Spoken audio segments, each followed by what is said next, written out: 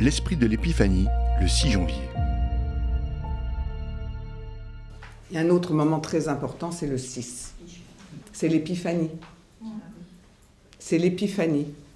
C'est intéressant de voir que l'épiphanie, rappelez-vous, l'épiphanie, c'est les rois mages qui viennent apporter les cadeaux de tout ce qu'on a planté, de tout ce qui a muté, de tout ce qu'on a gesté, de toute notre renaissance de Noël, de toute cette renaissance de la lumière en nous. Les rois mages viennent nous reconnaître. Hein. ils font le chemin et ils viennent pour reconnaître cette nouvelle lumière en chacun de nous. Ils viennent s'agenouiller devant nos nouvelles lumières avec leurs cadeaux.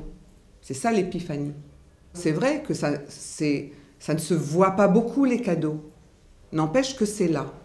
Et le 6, c'est le jour où vous devez surveiller vos autosabotages. Les autosabotages qui viennent par le doute. Qui viennent par le doute. Mais comment il n'y a pas de résultat? Mais comment avec tout ce que j'ai fait, il n'y a encore rien? Mais comment avec tous les actes magiques que j'ai posés, il ne se passe rien de différent?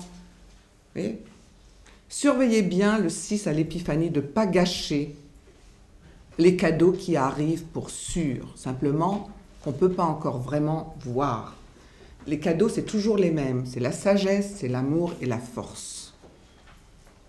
C'est la sagesse, c'est l'amour et la force.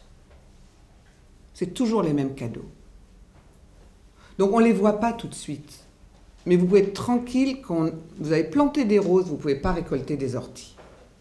La seule chose qui est importante dans le temps de l'épiphanie, c'est-à-dire de, de ce qui commence à se voir, c'est de ne pas saboter, de ne pas gâcher avec vos doutes et vos lamentations habituelles et vos ressentiments habituels, parce que ce n'est pas encore ce que vous voulez, pas tout de suite comme vous voulez, et vous n'avez pas tout ce que vous voulez, et de commencer à casser le jouet parce que ce n'est pas exactement le jouet que vous vouliez recevoir.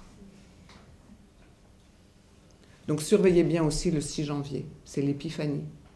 Faites vos galettes des rois, euh, votre royauté est en cours, c'est ça que ça veut dire, hein. c'est ça la tradition de la galette des rois.